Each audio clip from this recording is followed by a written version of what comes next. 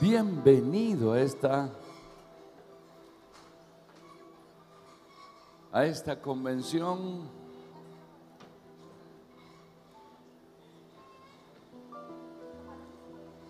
Iglesia, levántate, sacúdete el polvo. Quiero dar la bienvenida a todos los que nos visitan desde otras ciudades, desde otros lugares. Em, la verdad que soñábamos con verlos, soñábamos con... Miraba las fotos de, la- de las anteriores y era como una, una nostalgia que activaba mi fe. Así que eh, juntos les vamos a dar un aplauso de bienvenida a todos los que vienen de afuera. Espérese.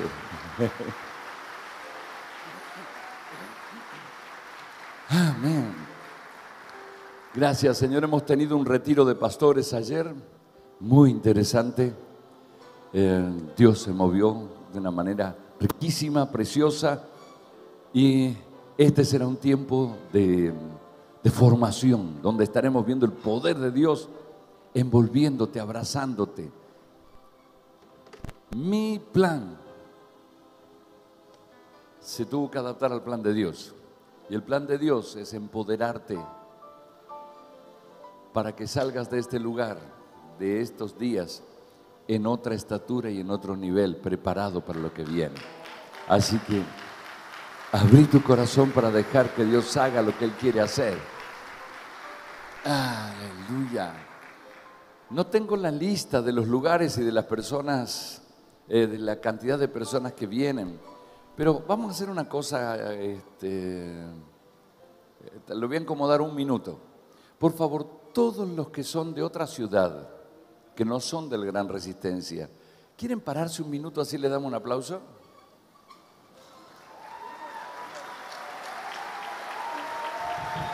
Los pocos que quedaron sentados aquí, le damos la bienvenida.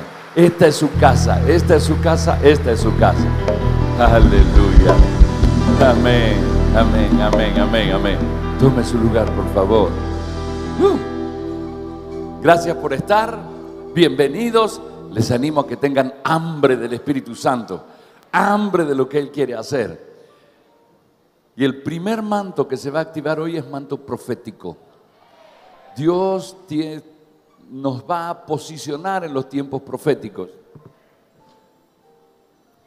para que podamos entender los tiempos y saber, saber qué rol estamos jugando, qué papel es el que nosotros estamos jugando en este rol, en, esta, mm, en este plan estratégico de Dios.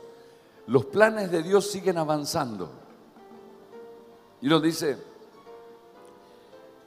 el enemigo de Dios, el enemigo de nuestras almas está ganando terreno, se mete en los medios, se mete en las escuelas, se mete en- por todas partes. ¿Qué está pasando? Todo está dentro del plan.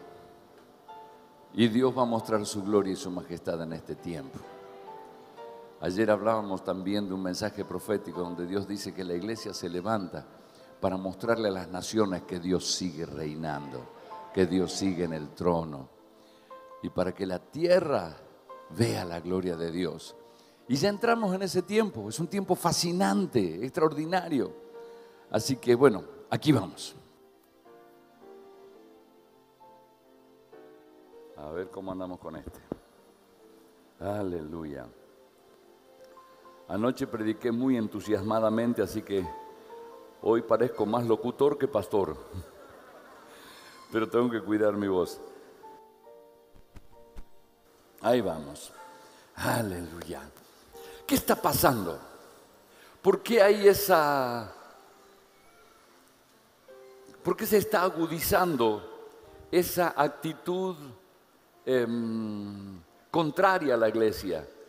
Ya se huele a veces a persecución en muchas cosas, en muchos casos. Ya hay persecución.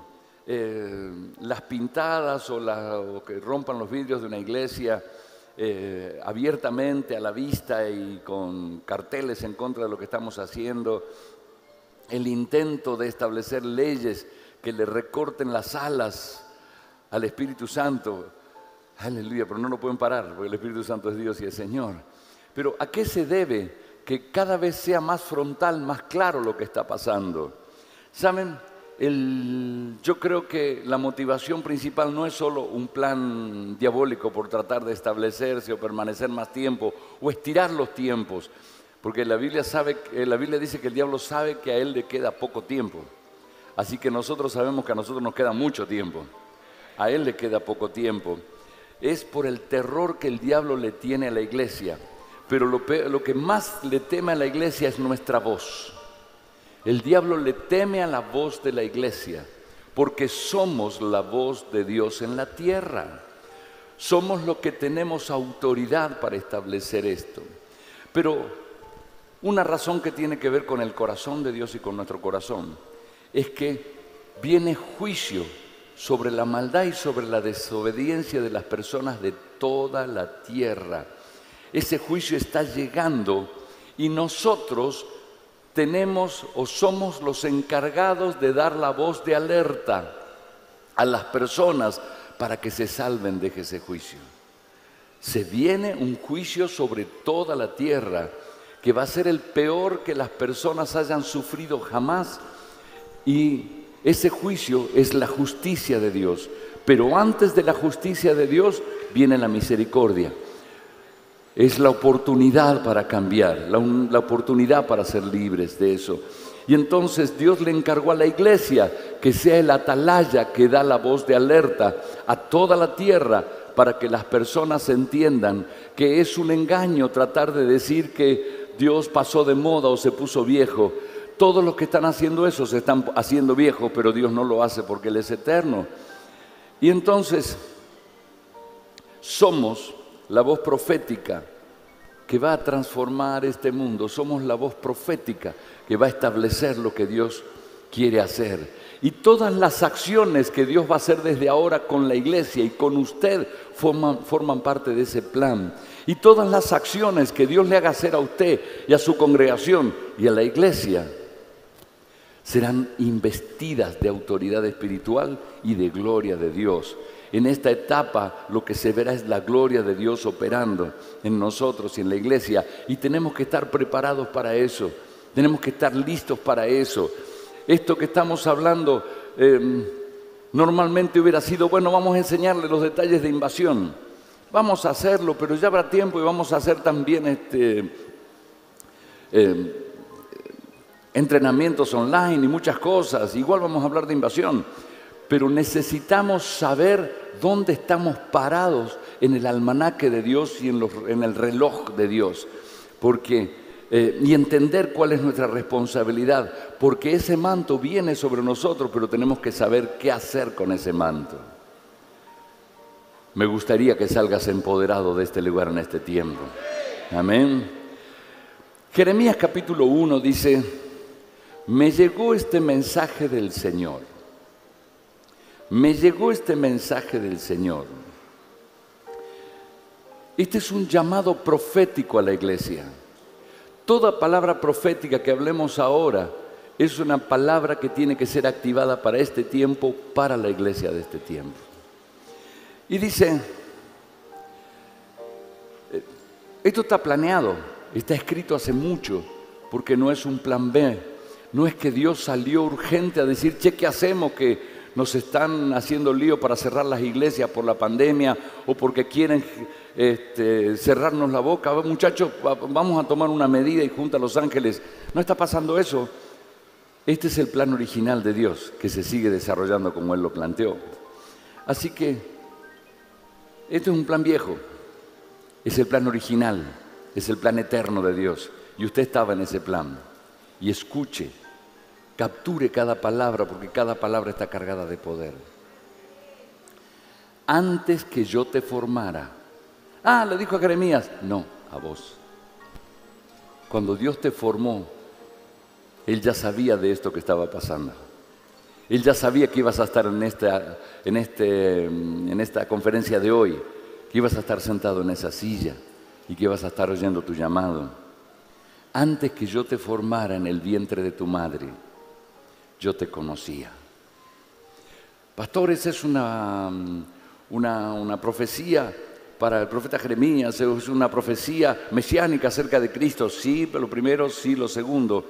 Pero es un llamado a la iglesia y usted es parte del cuerpo de Cristo y usted es parte de este plan que se está desarrollando. Antes de que te formases en el vientre de tu madre, ya te conocía. Antes de que nacieras, yo ya te había elegido. Alguien diga fuerte, soy un elegido de Dios.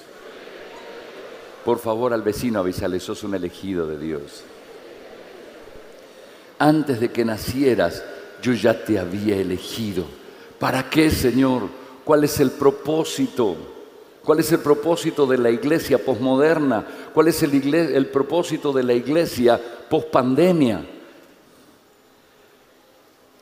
Te aparté, iglesia, para que fueras un profeta para las naciones. Ayer leíamos que Dios le va a anunciar a las naciones que Dios reina y le va a anunciar a las naciones que Él es un Dios victorioso. Entonces yo le respondí, pero Señor Dios, yo soy muy joven y no sé hablar en público. Respuesta particular del profeta, pero también es la respuesta de muchos de los cristianos en los que yo me incluyo. Señor, yo soy pastor de una iglesia pequeña. Señor, yo soy pastor de una iglesia nada más. ¿Qué puedo hacer con las naciones? Ni con mi país puedo hacer nada. Con mi provincia, ¿qué puedo hacer yo? Señor, soy solo un ama de casa, soy apenas un líder. Señor, ¿qué puedo hacer? No tengo ni cinco años de cristiano. Señor, hace un año que me convertí. ¿Qué puedo hacer? Soy pequeño, soy joven ese mismo pretexto que quiso poner el profeta a su llamado personal es el, mensaje que Dios le está dando a la iglesia, es, la respuesta al mensaje que Dios le está dando a la iglesia. Saben, el llamado es muy fuerte y muy claro. Es un llamado a un protagonismo. Es un llamado a salir a, mostrarse, a salir a a mostrar a Cristo y a ser sal y a ser luz. ¿Cómo es eso? Les cuento mi experiencia personal. Cuando batallamos con algunas leyes, decían, mirá que están por tratar de sorpresa en el Congreso tal y tal para tratar de hacer una ley que le dieron media aprobación. Una ley este, que le llaman ley mordaza, para que nosotros no podamos predicar con libertad todo lo que la Biblia dice, para que no ofenda a algunos. Y con leyes anteriores nos pasó igual, leyes aprobando como bueno lo que Dios dice que es malo. Y entonces, algo hay que hacer, che, no hace nadie nada. Y nos orábamos con mi esposa, Señor, levanta alguno que, que, haga lío, que nos convoque, que alguien haga sonar la trompeta en algún lado. Y por ahí sonaban trompetas tibias por allá, por acá, por acá.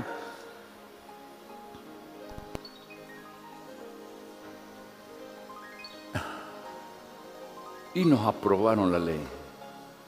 Dije, Señor, somos unos dormidos. ¿Qué nos pasó? Y me enojé. Me enojé con el liderazgo de la iglesia en general.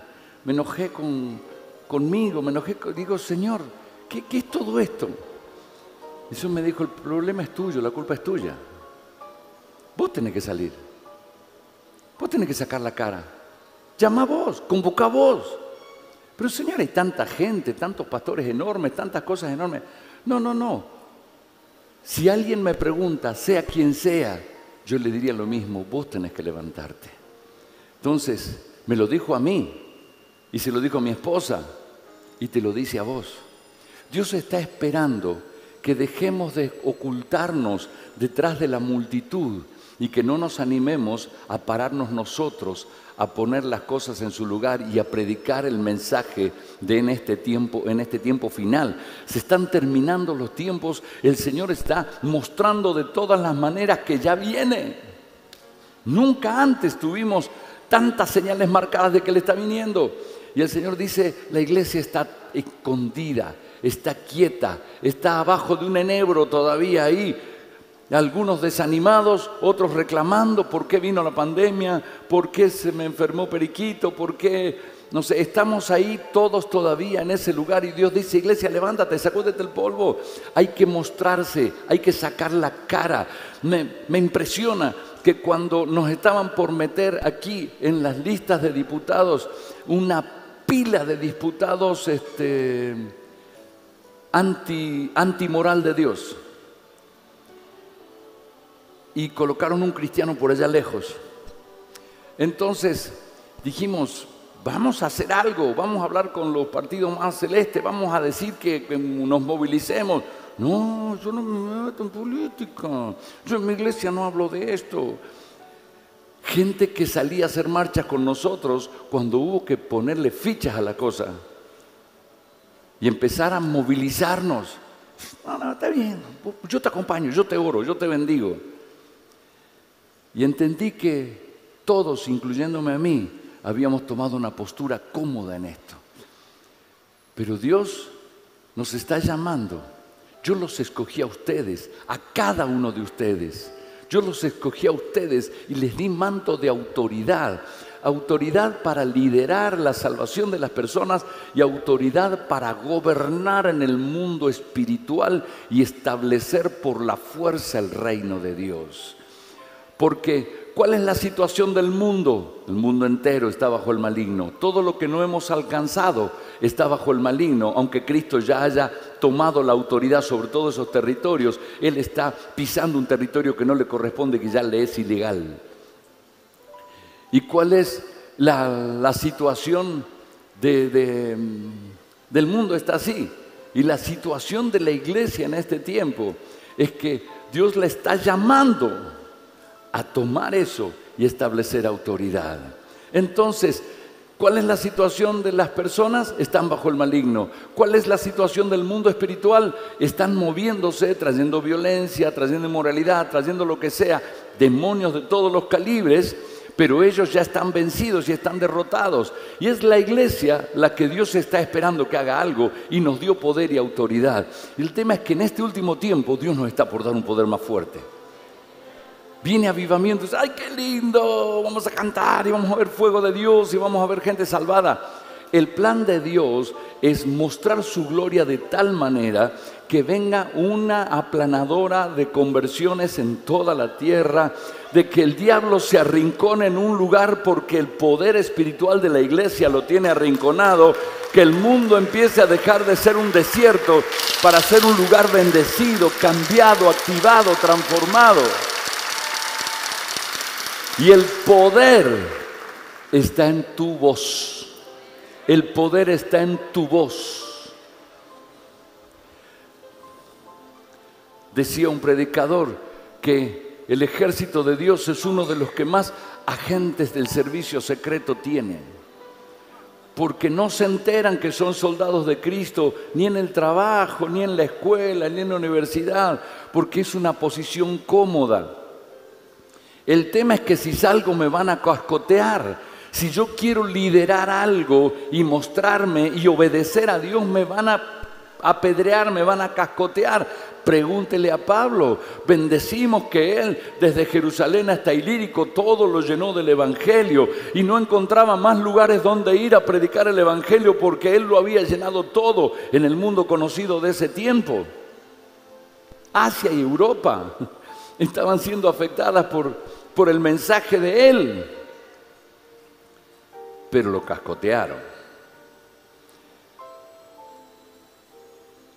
El tomar la cruz en este tiempo es uno de los desafíos claves, porque es, Señor, no me voy a cobijar, voy a salir rodeado por tu fortaleza.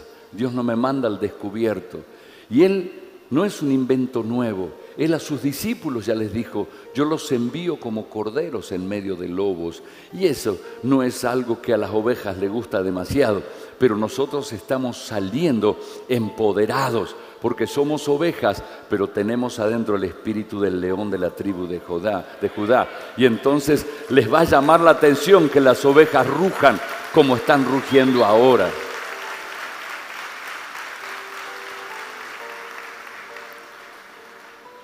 Un político dijo, nosotros le tenemos un poco de miedo a la iglesia porque son muchos, pero no tanto miedo porque son buenitos. ¿Sabe una cosa? Creen que somos ovejas con espíritu de oveja. Somos ovejas del Señor, pero somos leones aquí en la tierra porque estamos para gobernar y establecer la autoridad de Dios.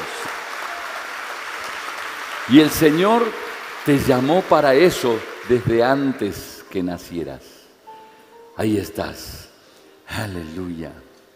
Ese es lo que yo le llamo el famoso perfil bajo de la iglesia. No, tranquilo, nada. Soy muy joven para ir. En hebreo la palabra es nar, significa soy muchacho. De la adolescencia, eso va entre la de la adolescencia hasta la infancia. Y esa palabra implica, no puedo hacerlo porque soy un sirviente, soy una criada, soy un pequeño servidor. Eso significa la palabra nar. Soy apenas un pequeño servidor. Ahora, aunque no te sientas suficientemente grande, porque tu, tu entendimiento y tus argumentos te digan, mira, hay gente mucho más capacitada que yo. Había un ejército armado, equipado, entrenado delante de Goliat. Y uno que salió de atrás de las ovejas, que nadie lo conocía, tuvo que salir a hacer la obra de Dios. A Dios le encanta usar a las personas en las que tal vez pocos creerían para salir a enfrentar.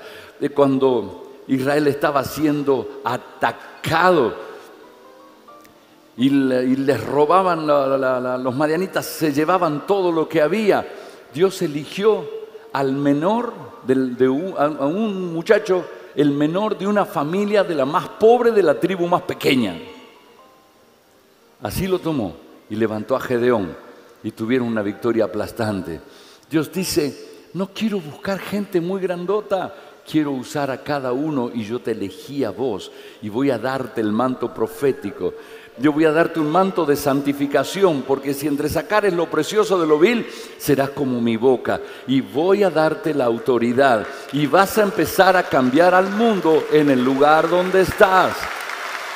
Es nuestro llamado. Este es nuestro tiempo.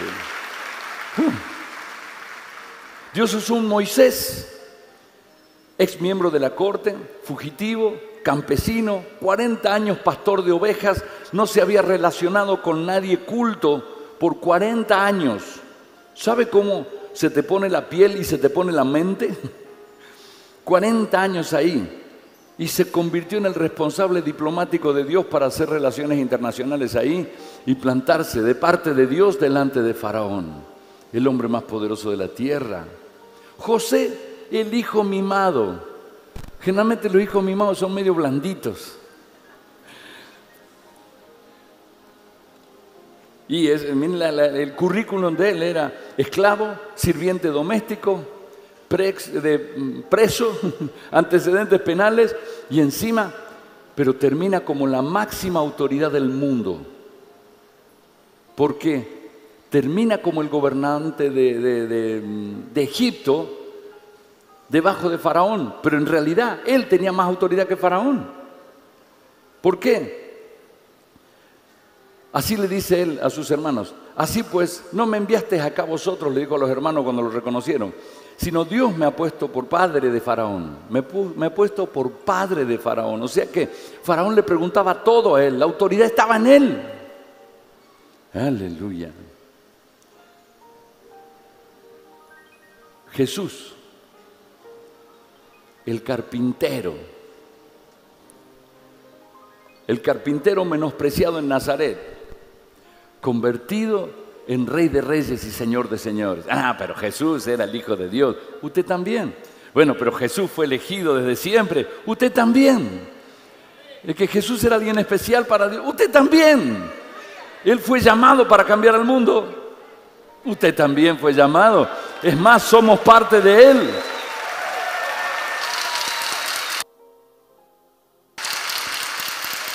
A Él lo menospreciaron por ser carpintero a otros lo menospreciarán porque, este que es un empresario, ¿qué sabe de religión? ¿Qué sabe de cosas espirituales? O otros dirán, este es una iglesia chiquitita, mira, es el pastor de la otra cuadra, ese es uno acá. No importa si a él lo menospreciaron por carpintero y a usted por herrero, por lo que sea, el mundo está le está, se le está poniendo los pelos de punta, se le está poniendo la piel de gallina, porque el sistema de este mundo manipulado por el infierno está viendo que la iglesia se está levantando.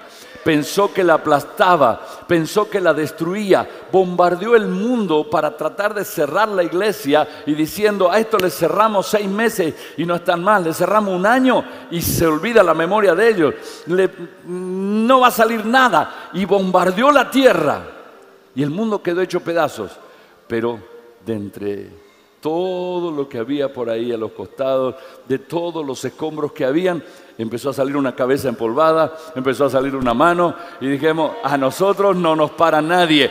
Ahora estamos más fuertes que antes. Ahora estamos listos para mucho más. Uh. Así que el Señor nos dice a nosotros, como le dijo a Jeremías, no digas que soy muy joven, porque irás a donde yo te envíe y dirás todo lo que yo te ordene. Alguien tiene que decirle amén a Dios. Pues Dios te está hablando, esa palabra es, palabra, palabra de Dios.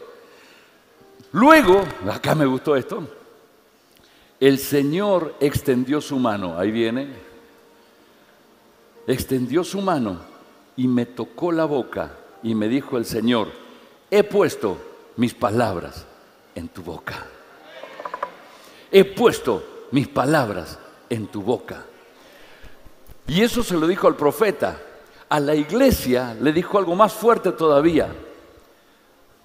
Quiero que seas mi boca. Le voy a poner la firma a todo lo que digas. Todo lo que hagas en mi nombre, yo lo respaldo. Lo que digas en mi nombre, lo voy a respaldar. Ahora, puso sus palabras en mi boca. ¿Qué puedo hacer? ¿Le puedo ir a pegar un grito a alguien? Eso está mal. No, no, no.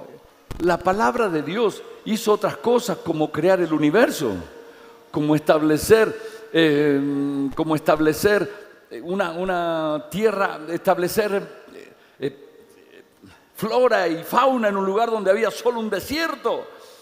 La voz de Dios crea vida. La voz de Dios crea, la voz de Dios tiene autoridad, la voz de Dios hace temblar los montes. Dice que los montes se derriten ante la voz de Dios, los montes tiemblan, montes autoridad, tiemblan ante la voz de Dios. Y Dios dice, te doy poder en tu boca Dios está ungiendo a la voz de la iglesia en este último tiempo. En este tiempo final la voz de la iglesia sonará muy fuerte y sonará y hará temblar hará temblar, hará temblar. El otro día me puso la piel de gallina cuando estaba en una reunión política y alguien dijo, no debería decir esto, pero nosotros le tenemos miedo, dijo, ah, hablando de la iglesia, no dijo la iglesia, me lo dijo a mí, pero nosotros les tenemos miedo. ¿Sabes una cosa? Y todavía no nos escucharon hablar, todavía no nos escucharon rugir, todavía no vieron lo que Dios es capaz de hacer en su pueblo. Hoy oro para que en esta conferencia misma y durante hoy y mañana en la convención, Dios te toque. Dios te toque la boca.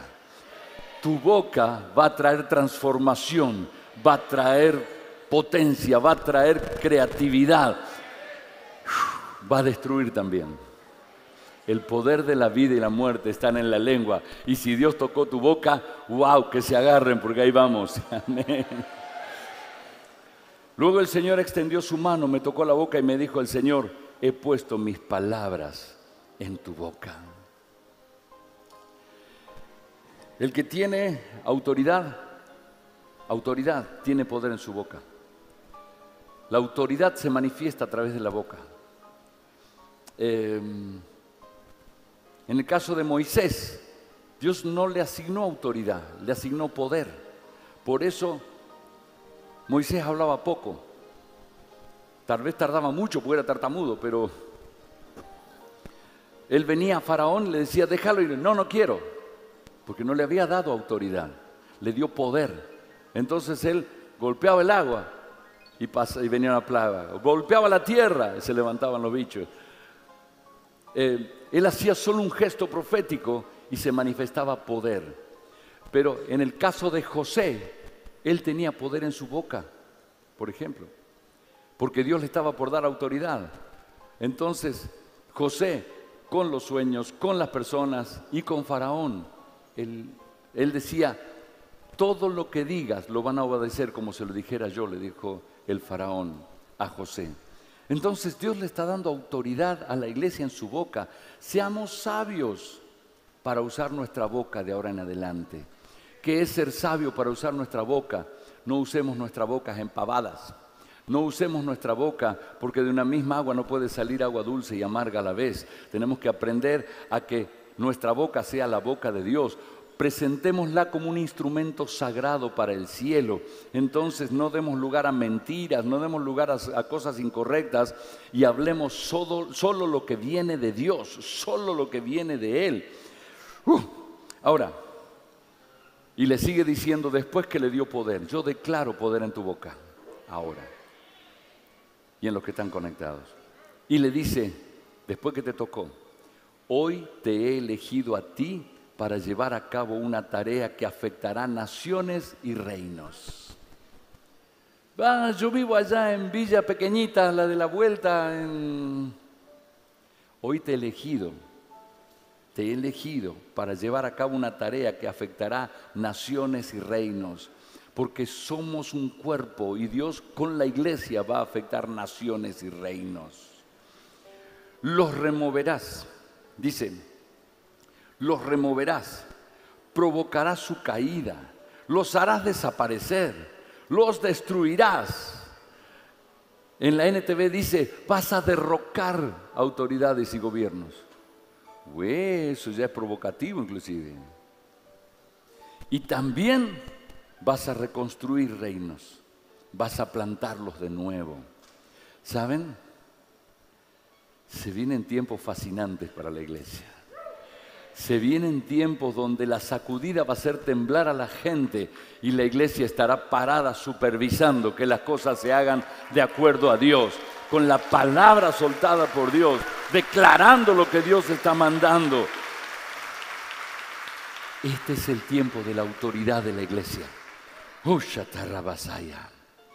Así que Dios le comienza a dar lecciones al profeta y dice, 11, me llegó este mensaje del Señor ¿qué ves, Jeremías? Yo respondí, veo una rama de almendro. El Señor me dijo, has visto bien, porque me ocuparé de que se cumpla todo lo que te digo en mi mensaje. Hay una determinación de Dios. En la Reina Valera, cuando le habla así, le dice, la palabra de Jehová dice, ¿qué ves, Jeremías? Y dije, veo una rama de almendro. Y me dijo Jehová, bien has visto, porque yo apresuro mi palabra para ponerla por obra. Yo apresuro mi palabra hay una, un juego de palabras en el hebreo. Shaked, shoked, palabras parecidas. Una es almendro, la otra es apresuro. ¿Sabes qué? Aceleración. Aceleración. Dios le está pisando al acelerador a los tiempos finales para cumplir el propósito de Dios. Por eso nosotros tres años atrás estábamos cantando y saltando pensando que los próximos 150 años iban a ser iguales y en un mes, en el mes de marzo, se nos dio vuelta todo y todo cambió definitivamente. Y ahora vemos que se están levantando aquellos, que la iglesia se empieza a empoderar, que las cosas empiezan a cambiar, se aceleraron los tiempos y vienen así como cascote uno atrás de otro, empiezan ahora los cambios de Dios y la preparación de Dios. Así que el que era lento, el que caminaba así, nomás con, con desgano, póngase zapatillas y jogging, porque la carrera que tenemos por delante la tenemos que empezar a correr. Despójese de amarguras, de cosas que estén en el camino y prepárese para la carrera, porque viene una aceleración de los tiempos. Ahora bien, e, es interesante que haya usado una vara de almendro, porque la vara de Aarón cuando discutieron la autoridad de Moisés y de él. Era una vara de almendro y Dios la usó como señal de demostrar quién es el que manda. ¿Se acuerdan que juntaron todas las, varas de los príncipes y las pusieron a la noche, al otro día, solamente la vara de Aarón había reverdecido y había dado frutos. Y quedó claro quién tenía la autoridad establecida por Dios. Entonces, no es casualidad que Dios haya usado ese modelo, tal bien, también por el juego de palabras para decírselo a Jeremías, pero hay un mensaje detrás. Todo tiene que ver con la autoridad que Dios te está dando en este tiempo, iglesia. Ahora, Y me llegó otro mensaje. Estaba chateando con Dios. Me llegó por segunda vez un mensaje del Señor diciendo, ¿qué ves Jeremías? Y yo respondí, veo una olla rebosante de agua hirviendo que se derrama desde el norte. Yo creo que no vio una olla en el campo que hacía así en la tierrita, habrá visto una olla gigante para que esté hablando de, de direcciones desde el norte, una cosa así una olla rebosante de agua hirviendo que se derrama desde el norte. Y el Señor me dijo, desde el norte derramaré la desgracia sobre todos los habitantes de Judá. ¿Sabe qué es eso? Juicio. Juicio. Juicio. Llamaré a las familias de los reinos del norte, dice el Señor. Los reyes de esas naciones vendrán y colocarán cada uno su trono a la entrada misma de Jerusalén. Jerusalén ahora representa la iglesia. La nueva Jerusalén es la iglesia que va a descender del cielo, es lo que estamos edificando ahora. Y dice que van a venir, van a venir y van a poner sus tiendas, su, sitiamiento hasta las puertas de la iglesia. Parte de eso que se levantó. Atacarán las murallas que la rodean a Jerusalén. La fe, la santidad, el amor a Dios son nuestras murallas que el diablo no puede penetrar y van a tratar de enviar dardos de fuego, de temor, de intimidación, de menosprecio. Ustedes no son nada.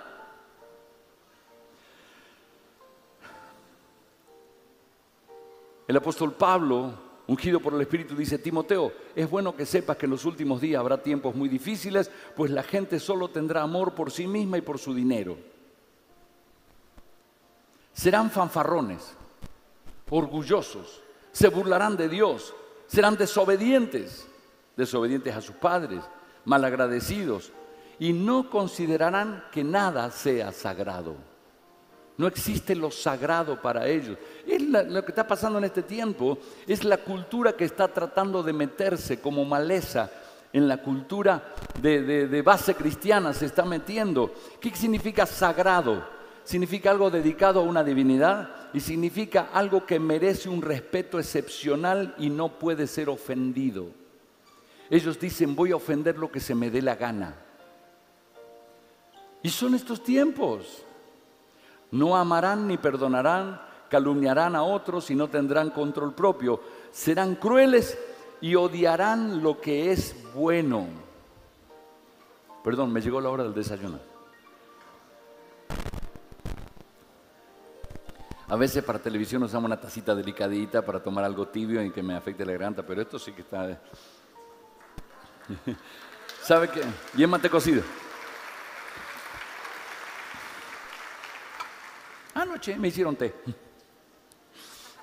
Ah, em, odiarán lo que es bueno. Les molesta las cosas bien hechas. Detestan que seas fiel a tu esposa. Detestas que enseñemos la fidelidad detesta que enseñemos lo que es bueno. Odiarán lo que es bueno. Porque a veces digo, Señor, ¿por qué odian si no le hacemos nada? Pero odian lo que es bueno. Traicionarán a sus amigos, serán imprudentes, se llenarán de soberbia. Escuche, amarán el placer en lugar de amar a Dios. Actuarán como religiosos, pero rechazarán el único poder capaz de hacerlos obedientes a Dios. Por favor, aléjate de esa clase de individuos dice que pondrán y van a poner a las puertas de Jerusalén misma los ataques. Aleluya. Y atacarán a todas las ciudades de Judá. Señor, detesto cuando salen eh, noticias que dicen Rosario, ciudad violenta. No, Señor, hay gente de Dios en ese lugar. Están tratando de volverla violenta, pero Dios está levantando a la iglesia para empezar a transformar esas cosas. ¿Cuántos van entendiendo? Cuando en ciudades hacen grandes desfilos vergonzosos, cuando veo que se levantan autoridades, autoritarismos y tiranías en algún lugar amordazando y aplastando a la gente, ¿saben?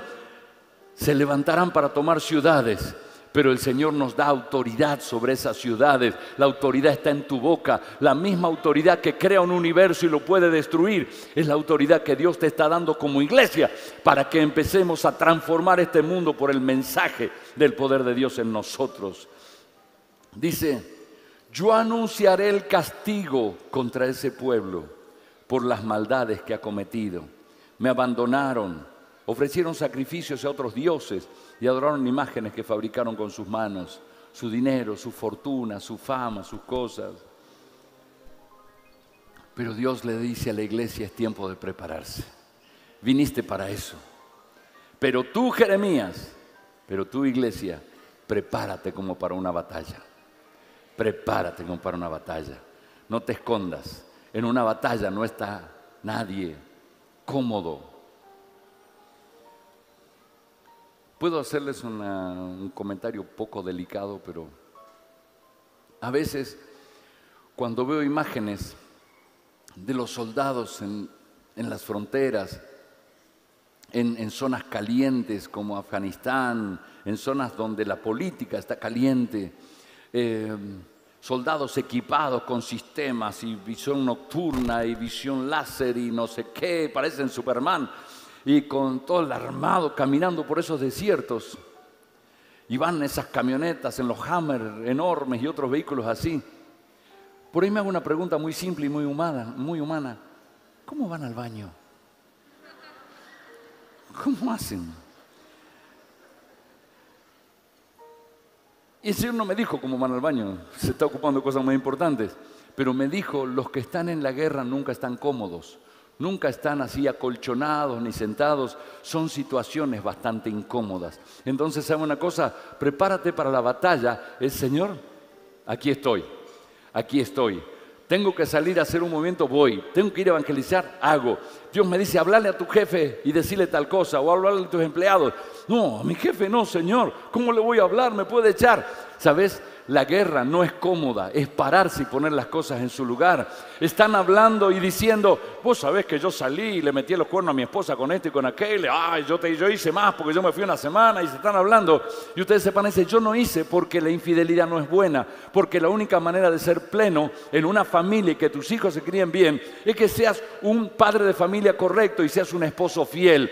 Y la gente no se anima porque no se da cuenta que tiene autoridad en su boca para cambiar las cosas donde están parados. Es tiempo de moverse y de decir, Señor, aquí estoy. Es guerra, no es cómodo. Prepárate para la batalla, prepárate para la batalla, pero Dios ya te puso un nombre, eres más que vencedor. Así que nadie te va a parar. Aleluya, esto me está gustando. Ahora, ve y diles todo lo que yo te ordené. ¿Por qué? Porque hay poder en tu boca para arrancar, para plantar, para edificar, para destruir. Ve y diles todo lo que yo te ordene. No les tengas miedo. Así yo no tenga que atemorizarte ante ellos. En otra versión dice, para que no quedes como un sonso delante de ellos. Levántate, dice en la NTV, prepárate para entrar en acción. Ve y diles todo lo que te ordené decir. No le tengas miedo para que no parezcas un necio delante de ellos. Aleluya. Somos invencibles. Diga conmigo, soy invencible. Dígalo como iglesia, somos invencibles. De nuevo. Usted tiene autoridad en su boca, así que ahora dígalo con autoridad. Hágame un favor, lo voy a molestar porque lo veo muy cómodo, pero estamos en guerra. Póngase de pie y cuando yo diga tres lo decimos. Uno, dos, tres. De nuevo. Wow, ahora sí, algo está pasando. Honra al cielo.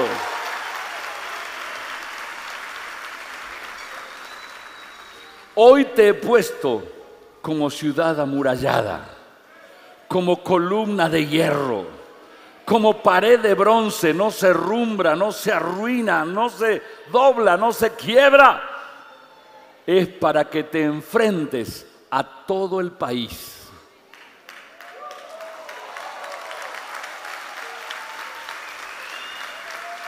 es para que te enfrentes a todo el país, para que te enfrentes a todos los reyes de Judá, a todos sus príncipes y a sus sacerdotes y a todos sus habitantes. Se lo leo en otra versión. Mira, hoy te he hecho fuerte como ciudad fortificada que no se puede conquistar, como una columna de hierro. No se mueven. ¿Sabe una cosa? Dios sacudió a la iglesia en este tiempo. A todos. A los pastores no. Maltrató.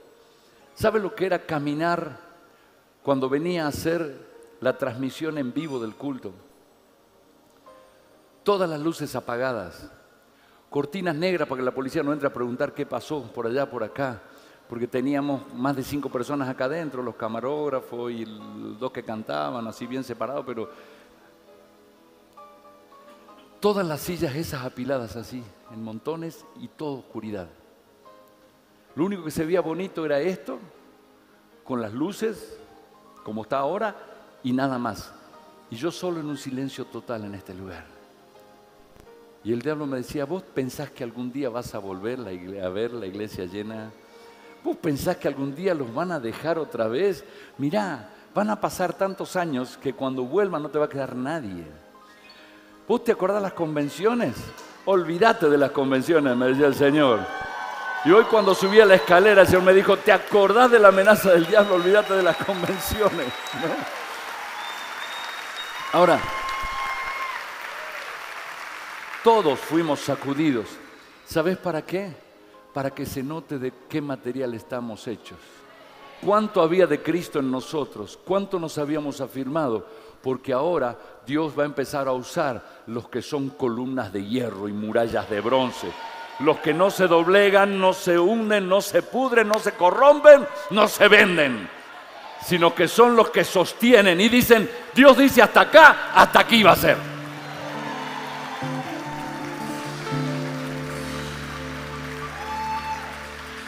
Y dice, te enfrentarás contra toda esta tierra contra los reyes, contra los funcionarios,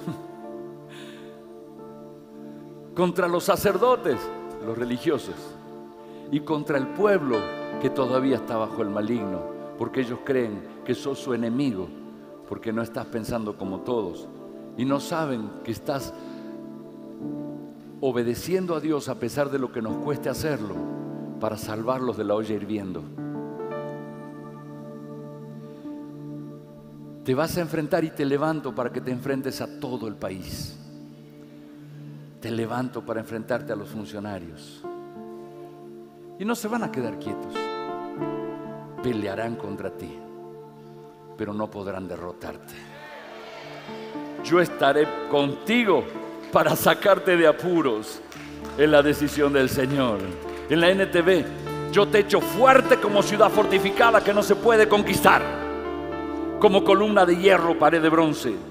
Te enfrentarás contra toda esta tierra, contra los reyes, gobernantes, funcionarios, diferentes autoridades, sacerdotes, los religiosos y los hipócritas, y el pueblo de Judá, las personas que necesitamos liberar de, las, de la olla con agua hirviendo. Todos ellos pelearán contra ti, pero fracasarán, porque yo estoy contigo y te protegeré. Yo, el Señor, he hablado dice la palabra.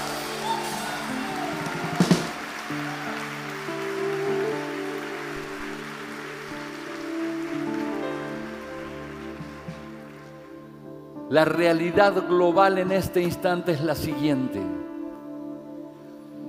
El mundo avanzó en la degradación y en extender la maldad. Y los malos hacen creer a la gente que no les va a pasar nada por causa de la maldad. Los que no tienen dirección caen bajo el engaño de esas personas. Lo religioso, las religiones, muchas de ellas enseñan cosas buenas y enseñan moral correcta, pero sin ningún poder. Y entonces sigue avanzando sigue avanzando, como diciendo, Por demás es servir a Dios. Por demás es ser buen cristiano. Ya el siglo pasado decían, en un tango que fue himno el siglo, que fue el, siglo pasado, el que no llora no mama, el que no afana es un gil, es lo mismo que seas bueno, que seas malo, que seas traidor o que seas una buena persona. En este mundo se juntan la Biblia y el calefón como cosa en un negocio de, de cambalache, ¿no? El mundo ya estaba avanzando en esa dirección y Dios no se manifestó aplastándolos. Y después aparecieron unas marchas de no sé qué. Tampoco apareció el mundo. Estamos orgullosos de nuestra moral propia diferente de la de Dios. Y no apareció Dios a aplastarlos. Sin embargo, a veces salían las noticias de la persecución sobre los cristianos en algunos países. Y ahora vamos a tomar el mundo entero y vamos a hacer esto y esto y esto, porque Dios ya no puede contra nosotros. Lo hicieron. El mundo está avanzando en esa dirección. Y ahí yo creo que es un puñado pequeño el que está consciente de que está trabajando para el infierno en esto. Pero sí que sé que es una masa gigantesca de personas que van atrás de eso porque fueron engañados. Desde el norte, una gigantesca olla de agua hirviendo, sufrimiento, un aterrador sufrimiento se está por soltar porque la maldad ya llegó al límite y llenó la copa de Dios. Estamos en el tiempo donde estamos esperando la gota que rebosa, nada más. Los tiempos finales no son porque estaban jugando un partido y Dios silbó a Dios sino que Dios sabía que en este tiempo Él decía, hasta aquí llegan con la maldad. Les di la oportunidad. Y al que algunos lo tienen por tardanza, no es tardanza, sino que Él está siendo misericordioso, esperando que se arrepientan. Pero no en el silencio, sino que levantó a la iglesia para que dé el mensaje. Y lo hemos hecho en la medida en que se fue pudiendo hacer y en que fuimos entendiendo el plan de Dios. Pero ahora la iglesia entró en su etapa de madurez, donde ahora sí tiene que salir a enfrentar la batalla, porque este es el tiempo de hacerlo. La olla hirviendo está viniendo para soltarse sobre la humanidad y las naciones de la tierra. Pero el Señor, antes del juicio, envía la misericordia y le está diciendo a la iglesia, corran y salven a esa gente, corran y salven a esa gente. Les he dado autoridad, les he tocado en la boca para que salgan y le venen y le enseñen a las personas a escapar de ese juicio que está viniendo, que alcancen misericordia, que sean perdonados, que cambien su vida y que abracen el reino de los cielos. El infierno por su parte se aterra de que la iglesia esté ungida en su voz para declarar el mensaje profético de Dios y está tratando de pararnos. No nos están parando por fuerza, decía el apóstol Lara ayer. Nos están parando por miedo. Nos están tratando de parar porque están aterrados de lo que somos capaces de hacer. Pero saben, yo creo que ya sabe el diablo con toda certeza que le queda poco tiempo este es el momento en que la iglesia dice, se está levantando la olla y hay muchos miles de personas que en su inocencia fueron engañados, los vamos a alcanzar y los vamos a sacar de allí. Te levanté para que te enfrentes a tu país completo. Te levanté para que pares a los reyes, para que detengas a los funcionarios, para que detengas el avance de los religiosos vacíos que están apoyando y compartiendo lo que viene desde el anticristo. Él está diciendo, este es el tiempo en que nos levantamos ungidos con autoridad, nos paramos en posición de autoridad y decimos, voy a abrir mi boca en el nombre de Jesucristo y me van a conocer. Me van a conocer. Me van a conocer. Me van a conocer me van a conocer en la oficina, me van a conocer en la calle, me van a conocer en donde tenga que estar, porque Dios me está levantando como una columna de hierro. El mundo está haciendo avanzar, el sistema de este mundo está haciendo avanzar la degradación, está haciendo avanzar la destrucción para aplastar. Pero Dios dice, te levanté como la muralla de contención. Una pared de bronce que no la pueden herrumbrar, no la pueden doblar, no la pueden quebrantar. Y he plantado columnas de hierro, hombres y mujeres de Dios que se paran a sostener el cuerpo de Cristo, que se paran a mantener la integridad, la pureza, el mantenernos limpios de toda contaminación, de toda putrefacción. Dios está levantando pastores, pastoras, gente de los cinco ministerios, pero está levantando amas de casa que se secan las manos después de estar haciendo sus tareas en la casa y son la columna de hierro que traen pureza a su casa, que traen mensaje a su casa, que están trayendo luz al barrio, Y la estrategia de Dios es que este ejército va a crecer en forma vertiginosa. Primero, porque se van a manifestar todos los agentes secretos.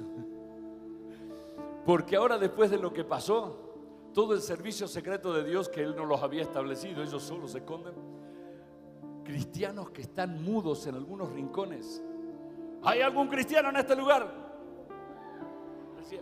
En la oficina. Dios está trayendo una osadía. Parte de nuestro mensaje es hablarle a la iglesia y decirle, no somos gatitos, somos leones. No estamos arrinconados y no le tenemos miedo. Pero es que me van a echar de la empresa. Si te echan de la empresa, Dios te va a dar la empresa. Él es dueño de todo.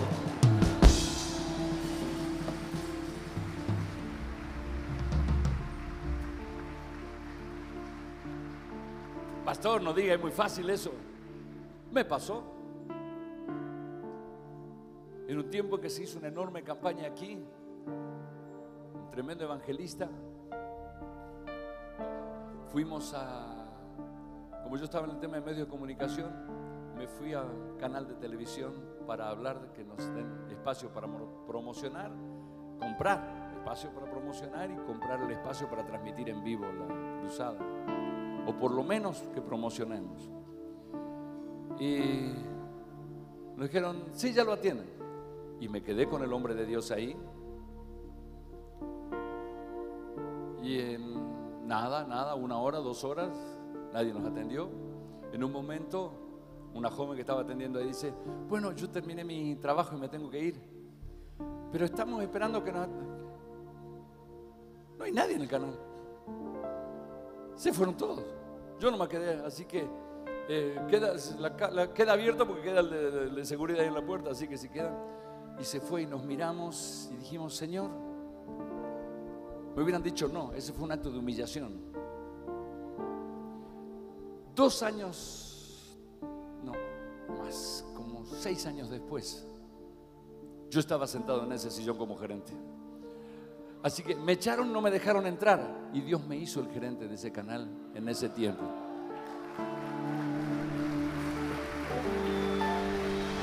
No le tengas miedo. No le tengas miedo. No le tengas miedo. Somos voz de autoridad. Ahora mismo, cuando yo te estoy predicando esto, yo veo, percibo en el mundo espiritual como demonios aterrados que se tapan los oídos por lo que estamos declarando. No por las palabras que yo te digo, sino por los textos que te estuve leyendo. Porque son palabras de Dios cargadas de poder para hacer todo aquello para lo cual fue enviada.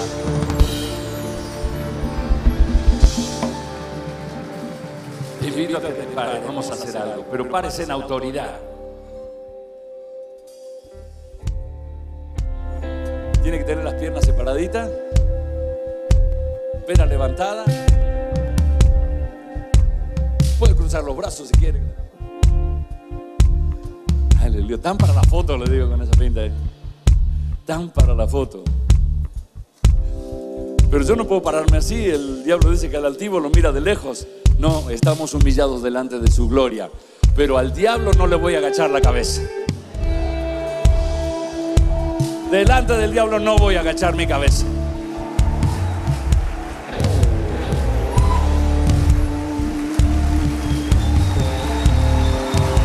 Ushe creve terrena vasaya cravataya saya. Uh. Aleluya. Antes de que yo te formara en el vientre de tu madre, ya te conocía. Antes de que nacieras, yo ya te he elegido para que fueras un profeta para las naciones.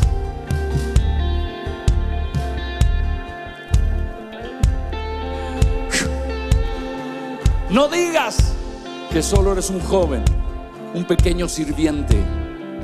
No digas que solo eres un mocoso, un nuevito, porque irás a donde yo te envíe y dirás todo lo que yo te ordene, parado con autoridad.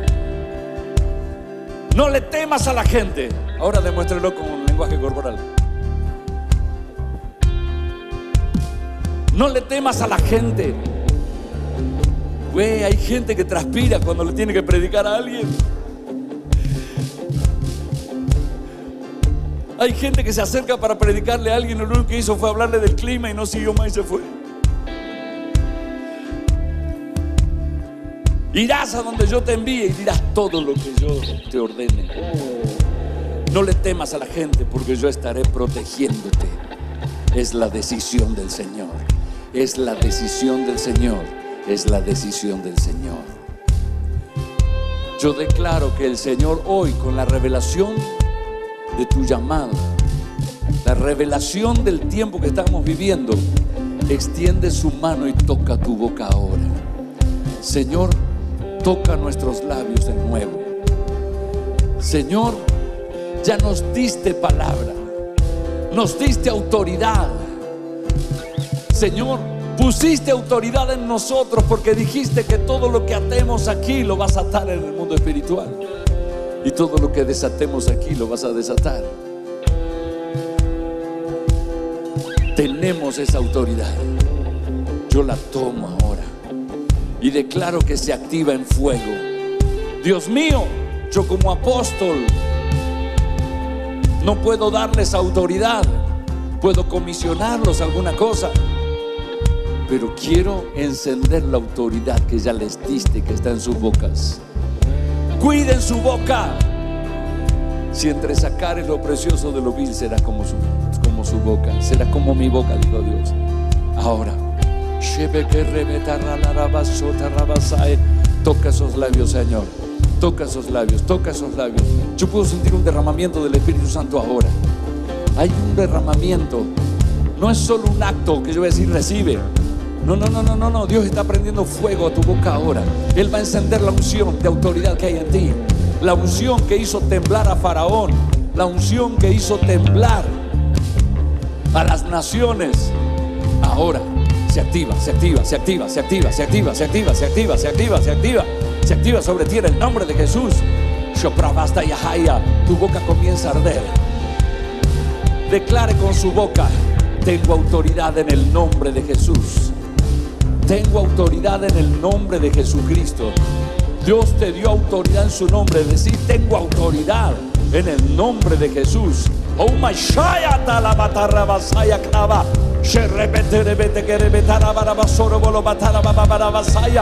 He puesto mis palabras en tu boca. Ahora desaten lenguas lo que Dios le está dando. Comienza a ejercer su autoridad. La autoridad no solo es el tipo de palabras, sino la firmeza con la que lo decís. Shkeita trembo hasaya de.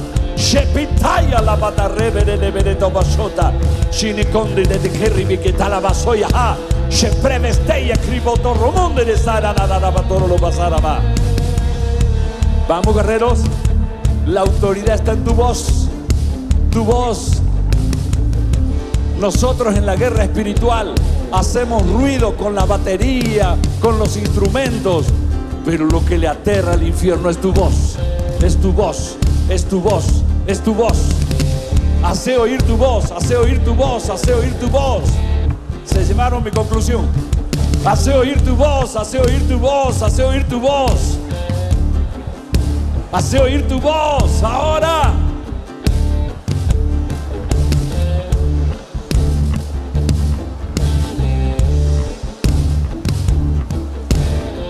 Levante esa oración en lengua, por favor. ¿Algo está pasando?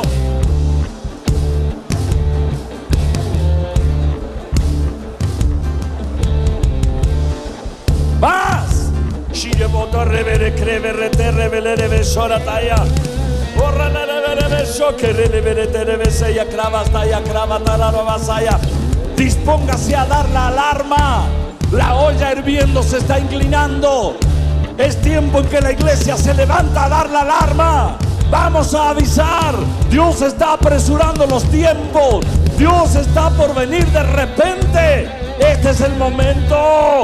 Tenemos que soltar ese mensaje de amor, el mensaje de la misericordia que precede al juicio de Dios.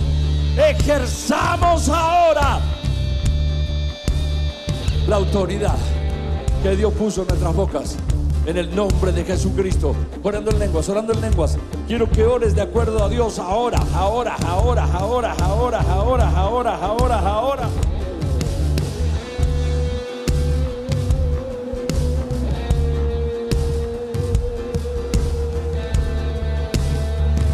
Aleluya. Vamos a hacer una activación ahora.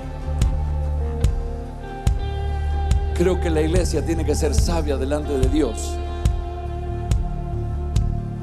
y arrepentirnos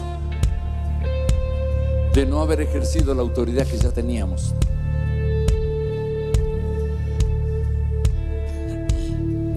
Yo le invito a que cierre sus ojos y abra su corazón delante de Dios. ¿Por qué cerramos los ojos? Para no ser espectadores. Cuando cerras tus ojos te encontrás con vos mismo. Señor, acá estoy. Señor, acá estoy. Te quiero pedir perdón. Sé que pude haber hablado más. Sé que pude haber cambiado mi entorno, pero me quedé cómodo me quedé en silencio. Señor, quise que la carga la tome otro. Sea honesto. Esto que usted está haciendo ahora, lo está preparando como un altar a usted. Esto mismo yo lo hice y me puse a reflexionar. Tal vez no hubieran avanzado tanto en la educación, tal vez no hubiese avanzado tanto la violencia, tal vez no hubiesen aprobado algunas leyes. Si tres años atrás me hubiese parado yo, sin ser nadie, por lo menos hacer sonar la trompeta, pero no había nadie que salga al frente. Esa es la estrategia que usó el diablo cuando quiso Em, cuando quiso hacer menospreciar al ejército de Israel, los escuadrones del Señor, porque el ejército estaba ahí, lo que faltaba era uno que salga al frente. El ejército estaba en orden de batalla, estaban armados, estaban entrenados y estaban en el lugar de la guerra. Lo que faltaba era alguien que salga de la fila y se ponga delante. Yo no sé si había generales o soldados que tendrían que haber salido, pero menos mal que en esa historia, un pastor que estaba atrás de las ovejas, al que ni siquiera lo consideraban hijo en la casa, dijo, si no sale nadie, salgo yo. Y después vimos que había sido el plan original de Dios. Perdónanos, Señor, por no haber salido antes. Perdóname, Señor, Perdónanos como iglesia. Yo te pido perdón, Dios mío, como pastor. Yo sé que podría haber hecho mucho más para hacer oír, oír tu voz de autoridad. Pero me escondí, Señor, esperando que salga algún general a quien yo pueda seguirlo. Te pido perdón de nuevo. Hice pacto y lo vuelvo a hacer. Voy a sacar mi cara, Señor, y me voy a parar.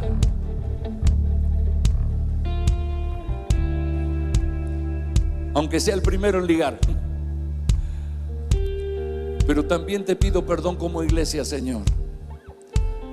Porque cuando nos queríamos expresar,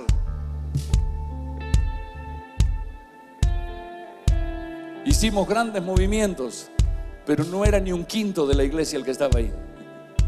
Señor, nos escondimos, nos pusimos cómodos. Y hoy me estás dando una nueva oportunidad.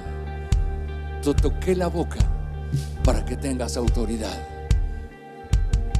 El anticristo se para como Goliat a gritar que nos, que nos tiene acorralados y que no nos va a dejar avanzar. Y Dios está esperando que alguien que se considera pequeño salga al frente y diga, no importa si los demás no salen, yo me levanto. Yo voy a hablar. Yo voy a ser sal en el aula donde estudio, en el aula donde enseño, en el taller donde trabajo. Y voy a decir las cosas, aunque me odien. Porque la olla con agua hirviendo, gigantesca, se está inclinando y ellos no lo saben.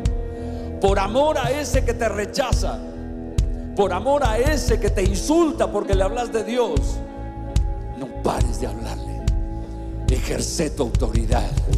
Ejerce la voz de autoridad de Dios. Empezá a llamar a lo blanco blanco. No, Dios no te llamó para que pienses que lo que Dios dice está bien, sino para que seas la voz de Él aquí en la tierra. Que nuestra actitud sea la de un soldado que no puede tener la comodidad de su hogar, sino que está en un campo de batalla. Yo te elegí desde antes de que nacieras y te digo, prepárate para la batalla, dice el pasaje que leímos. Y es la voz de Dios a la iglesia. Iglesia, te bendigo, porque como dice un pastor, somos sobrevivientes de la pandemia. Muchos se quedaron en el camino, muchos dejaron de venir, algunos tristemente fueron a estar tristemente para nosotros, con gozo para ellos, fueron a disfrutar la presencia del Señor. Pero de los que quedamos en la tierra, muchos quedaron sin fuerzas para moverse. Muchos no pueden moverse por su propia cuenta. Saben que la olla hirviendo viene, pero están ahí sin poder hacer nada. Pero usted y yo somos sobrevivientes, por eso estás acá, por eso tomaste tu tiempo y tu dinero y tu esfuerzo para estar en este lugar hoy. Por eso estás parado para ser empoderado, porque hoy te estás sacudiendo aquello que te estaba aplastando y Dios te está levantando ahora para entender que la iglesia se pone en movimiento. Este es tiempo de acción. Este es tiempo de acción. La luz hay que encenderla. La luz hay que hacerla ver. Y yo declaro que Dios te va a vestir de poder, te va a vestir de santidad y va a hacer notar la autoridad de tu boca en este tiempo. Háblale a tus parientes porque ahora van a temblar. Háblale a los que te rechazaron porque muchos ahora te van a aceptar. Habla en las calles. Antes me reía cuando un predicador se paraba en una esquina y gritaba y decía, Señor, ¿por qué hace eso? Nadie lo escucha. Y Dios dice, quiero valientes que siembren la semilla y empiecen a hacer las cosas que parezcan ridículas, que parezcan imposibles. Un ejército que no solo va a estar vestido con un uniforme de integridad y pureza, sino que va a estar marcado por dentro con un sello que es obediencia. Obediencia, obediencia, obediencia.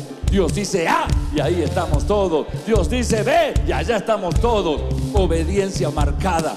En el nombre de Jesús, ahora sí, sobre este ejército voy a activar, Señor, la autoridad de esta palabra, el poder de esta palabra. Y declaro que sus bocas no serán las mismas. Declaro que sus bocas ahora serán usadas como un instrumento poderoso del tiempo profético de Dios. La iglesia profética del último tiempo se está levantando y seremos la voz de Dios en este lugar y vamos a sacar a la gente antes, antes que se vuelque esa olla de agua hirviendo. Somos la voz de la misericordia antes que llegue el efecto del juicio. Declaro en el nombre de Jesucristo de Nazaret que el pueblo de Dios se levanta y los que dicen Señor, conta conmigo. Ah, Señor. Ahora, en el nombre de Jesús, fuego, fuego, fuego, fuego, fuego, fuego, fuego, fuego, fuego, fuego sobre ellos. Tócalos, Dios. Tócalos, tócalos, tócalos, tócalos, tócalos, tócalos. Ahora, ahora, ahora, ahora, ahora, ahora, ahora, ahora, ahora. Declare conmigo, tengo autoridad. Tengo la autoridad de Dios en mi boca. Tengo la autoridad de Dios en mi boca. Grítelo. Segunda vez. Tercera. Cuarta. Quinta. Sexta. La última, grítela.